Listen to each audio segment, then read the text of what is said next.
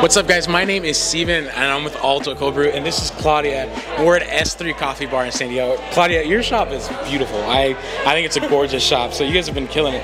How long have you been a part of the company? I've been not at this shop, but we started back in 2016 Yeah. across the street, and then we moved here back in 2020, uh, March, three days before the shutdown. Wow, so a rough year, but you guys are killing it. It- This place is lively and it's busting, and I think that's awesome.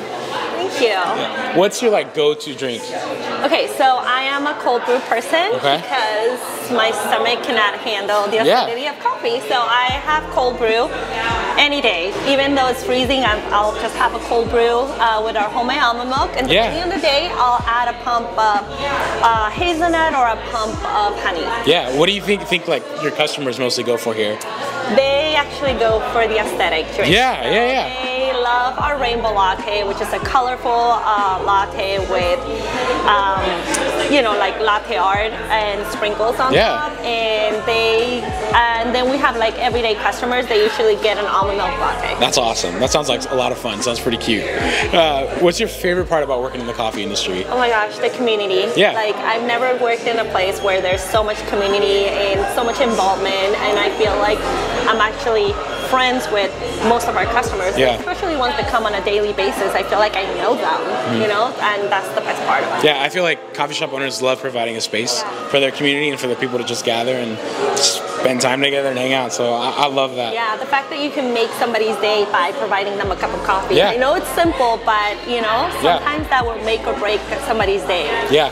How do you guys brew your cold brew here at S3? Uh, we actually used your Alto cold brew bag, so we slow steep it for 24 hours. It's the way to do it, it's the way to do it. uh, yeah, no, uh, no less than 24 hours. Yeah. I feel like cold brew is really popular in San Diego. Why do you think that is?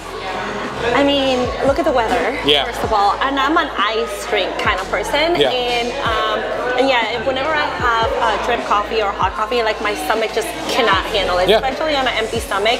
And I think that cold brew had expanded to. Um, not just for coffee, we actually use your cold brew bags for teas. We Yeah. steep all of our teas, awesome. like our iced teas, with their cold brew bags, the smaller ones actually. Yeah. That's so cool. Do you guys have like any fun cold brew drinks on the menu here? Right now we're doing the pumpkin. So we're uh, doing the pumpkin cold brew with a little bit of soft top Yeah. on top and people love it. What do you view as like being the future of cold brew, or, what does that look like for you here at S3?